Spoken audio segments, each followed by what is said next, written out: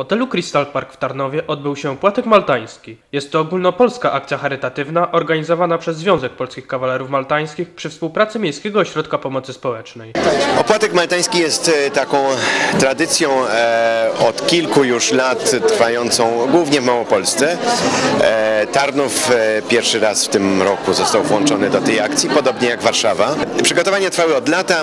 Nawiązaliśmy kontakt z dyrekcją Miejskiego Ośrodka Pomocy Społecznej. E, Wspólnie e, szukaliśmy sponsorów, chociaż trzeba tutaj oddać e, naszym współorganizatorom z MOPS-u, że to jest przede wszystkim ich zasługa, nasze zasługi akurat w zakresie znalezienia sponsorów tutaj w Tarnowie i osób, które chciały to wesprzeć są dużo mniejsze. E, natomiast e, sama idea e, wykluła się kilka lat temu w Krakowie.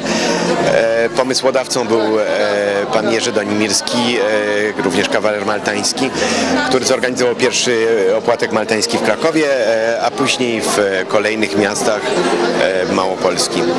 Włączyliśmy się w akcję organizowania opłatka maltańskiego wspólnie z zakonem kawalerów maltańskim. Jesteśmy ósmym miastem w kraju, który taką akcję organizuje. Opłatek maltański ma przybliżyć przede wszystkim osobom, które tutaj zostały zaproszone, a zostały zaproszone osoby niepełnosprawne, starsze, mamy z dziećmi, głównie te, których rodziny powyjeżdżały za granicę i pozostały same w domu. Chcemy, aby do nich właśnie te święta dotarły i aby nie poczuły się samotne i dlatego tutaj jesteśmy i ten wspólny czas razem spędzamy. Biskupi patronat oraz wsparcia duchowego dla akcji udzielił ordynariusz diecezji tarnowskiej biskup Andrzej Jerz. Z pewnością mamy wtedy bardziej uwrażliwione serce, patrząc przez pryzmat e, świąt na osoby, które m, są opuszczone, starsze, em, wykluczone z życia społecznego. Myślę jednak, że ważne jest, aby zauważać je też w ciągu całego roku i stworzyć takie mechanizmy życia społecznego, aby tę grupę ludzi będących trochę na marginesie włączyć bardziej w życie społeczne, dostrzec, zauważyć, mając jednak świadomość, że nie jesteśmy w stanie pomóc wszystkim osobom. Sytuacje są bardzo złożone e, i nawet najlepszy system socjalny nie jest w stanie tym osobom pomóc. Do akcji włączyły się również dzieci ze szkoły podstawowej nr 17 oraz Caritas diecezji tarnowskiej. Przygotowały one na to spotkanie jasełka. Dzieci bardzo aktywnie brały udział, bardzo się zaangażowały, co też pozwoliło nam na taką integrację środowiska lokalnego, czyli pokolenie młodzi i osoby starsze. To też uwrażliwia młodzież i społeczeństwo na potrzeby drugiego człowieka.